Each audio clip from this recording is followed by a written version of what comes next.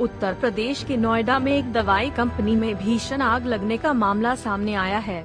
आग लगने की सूचना मिलने पर कंपनी में अफरा तफरी मच गई। कंपनी में मौजूद कर्मचारियों ने आग बुझाने की कोशिश की लेकिन इसे काबू नहीं कर पाए। आग नोएडा के सेक्टर उनसठ में लगी और सूचना पर मौके पर पहुँची फायर ब्रिगेड की 12 से ज़्यादा गाड़ियों ने कड़ी मशक्कत के बाद आग पर काबू पाया है।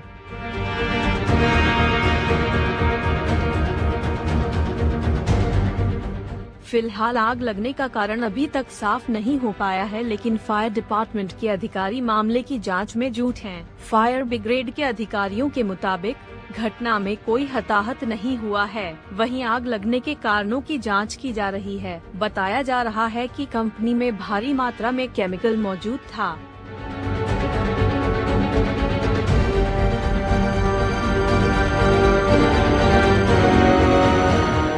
News desk.